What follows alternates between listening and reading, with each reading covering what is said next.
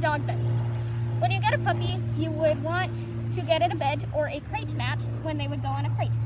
So normally you would start with a smaller bed for your puppy or smaller dog. And then finally you would get a bigger bed once your dog grows. When they're a puppy, you would want to keep them in the crate for most of the time, especially at night.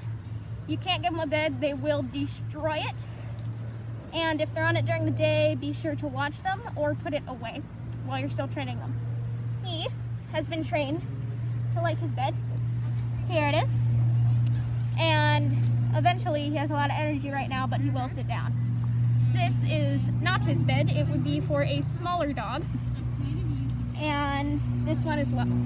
This is kind of a nice bed. If you have a cat, it could be used as a cat bed once your dog grows out of it, if they like that. And yeah, beds, they sleep on them. Can leave them out during the day if they're tired. And you can use them at night. You really don't want your dog sleeping on your bed with you. Okay. Do make sure though that when you put them on their bed, you would want them fully trained because if they know that their bed is a place for them to sleep, they will not pee on it and they will not poop on it because they like it and that is where they stay. They would not want to, you know, pee on the bed and then take a nap there. That's not very pleasant for you and it's not hmm. pleasant for them.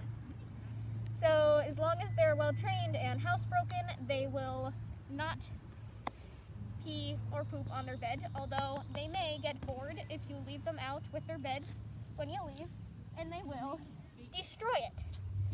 So um, I'd be careful about that if I were you.